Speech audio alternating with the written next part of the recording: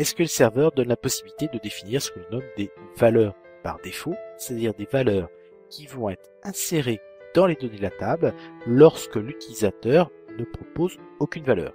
attention, hein, aucune valeur, c'est une absence de saisie, hein, bien évidemment. Si euh, l'utilisateur eh bien euh, propose comme euh, chaîne, je sais pas, une chaîne qui contient juste un caractère d'espace, c'est une valeur hein, tout à fait possible. L'intérêt de ces valeurs par défaut, c'est tout d'abord vous permettre de compléter hein, correctement les informations, sans doute également de faciliter les requêtes, d'avoir finalement un comportement par défaut, mais ça va également éviter d'avoir trop de valeurs nulles dans une table, puisque effectivement ces valeurs nulles, eh bien physiquement sont stockées comme zéro caractère et donc vous permettent un, stockage très condensé de l'information.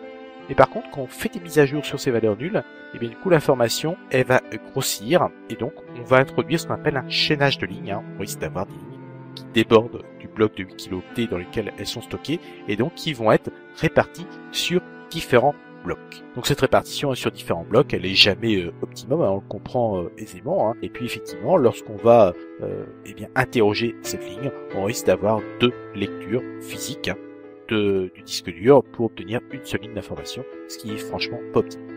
Donc on va pouvoir définir des valeurs par défaut. On peut le faire par exemple sur la table des clients. Alors ça se rajoute comme contrainte hein, dans euh, SQL Server, même si c'est pas vraiment une contrainte, hein, puisque euh, ça va rien introduire comme contrainte au sens français du terme hein, dans, pour la table des clients.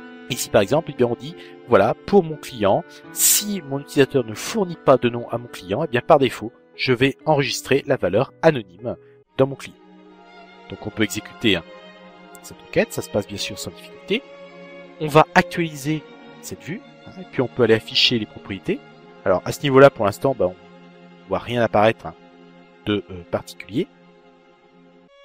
Mais si j'affiche les propriétés en mode création, quand je vais aller sur mon nom, eh bien, on va se rendre compte ici, voilà, valeur ou liaison par défaut, bien qu'ici, on saisit euh, le chaîne de caractère anonyme.